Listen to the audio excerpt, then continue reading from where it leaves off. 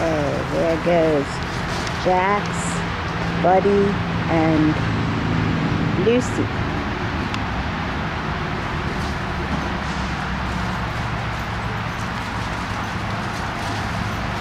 Two Cavalier King Charles Spaniels and a Beagle mix.